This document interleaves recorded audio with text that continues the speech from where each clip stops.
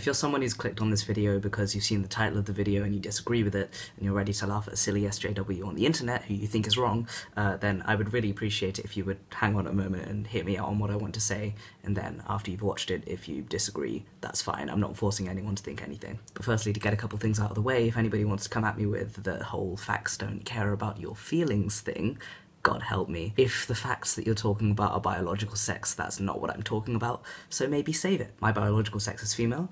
I don't really care. My gender identity is male. My gender is separate from my biological sex, and if you disagree that the two things are separate, then we're definitely not going to agree on what follows. But as a living, breathing example of somebody whose gender identity does differ from the one that they were assigned at birth, uh, I'm inclined to believe that the two things are separate. In my personal opinion, gender is based on a feeling, and feelings aren't lies, they are real and we all have them, and I will expand on that because that is a bit vague right now. Feelings and opinions are two different things as well. An opinion can change and a feeling can't. By change, I meant change voluntarily. Obviously, a feeling can change. I'm not talking about having the opinion that my gender identity is male, although that is my opinion. I'm talking about the more visceral, physical feeling of being male in my case.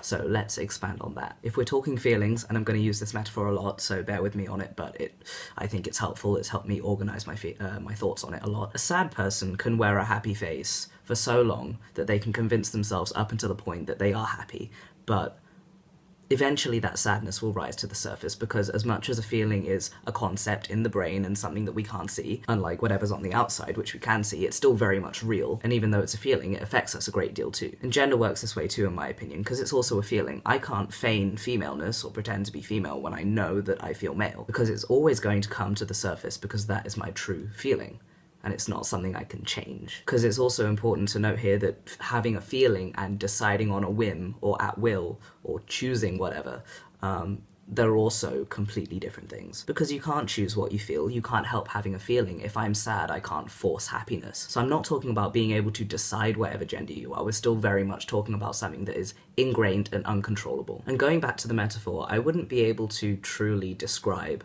what happiness or sadness feel like. I might say, well, happiness is like a warm, fuzzy feeling, or sadness is like a sinking feeling, but everybody experiences those feelings differently anyway. We can find ways to get close to a description that will just about satisfy everybody, but even then, if I had to describe feelings of happiness or sadness to an alien who's experienced neither, I'm never going to be able to do it in a, in a way that is accurate enough that will fully recreate that feeling for them. However, just because I can't put a description to it doesn't mean that we decide it doesn't exist, because we know it does and no one's disputing the existence of feeling happy or sad. So, similarly, I can't put a description to the maleness that I feel, I just feel male. And people ask, oh, how come you can't define what it is to be male or to be female without the use of stereotypes or gender roles or all of that? And I think that feelings are just incredibly hard things to describe. I can say, well, I feel more comfortable being called he and wearing typically masculine clothing and this, that, dysphoria, whatever, I can try to get medical, but again, everybody experiences it differently anyway. And even then, my description will not be satisfying enough for a lot of people. But it doesn't mean that I'm not feeling what I'm feeling. It's just hard to describe to somebody else, but nonetheless, it is real. And that's also why we say that gender is a spectrum with infinite possibilities, and people get taken aback by that. Like,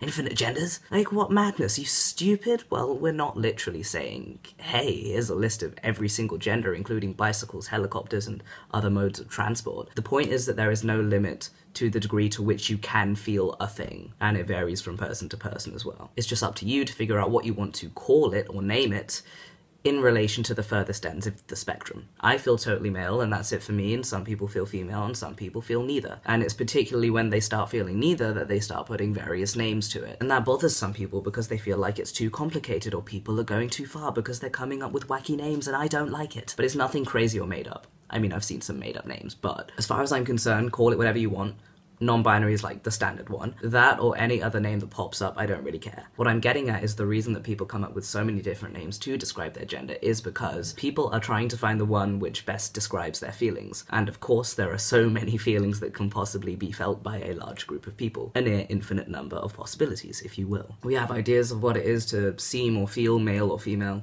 and most people feel comfortable with the role that they're given, but some people just don't, and it's all about how you feel. And that's not a bad thing. Facts don't care about my feelings, but my feelings are facts because they're there and I feel them, just because you can't see it or verify it with some infallible scientific method to be able to point at it and go, yes, that's a real thing because I can see it right there. Even though we can't see each other's feelings, we all are aware of the existence of feelings due to experience, experiencing them ourselves and being on the general plane of agreement of, yeah, we, we all feel that we all feel something. I mean, facts don't care about your opinions, it's far less catchy, but it's a lot more accurate. An opinion has no bearing on what the facts are, but a feeling is a much more concrete thing. It is a fact, and the fact is I feel male, and it's why I live as male, and it would be completely impractical for me to live as a woman on an emotional level, and for my mental health and my comfort level, and whatever else. So that, as far as I'm concerned, overrides everything else. Point is to summarize, I think that gender is something that is felt, but that doesn't make it any less concrete or valid. I know that even a lot of trans people disagree on that topic,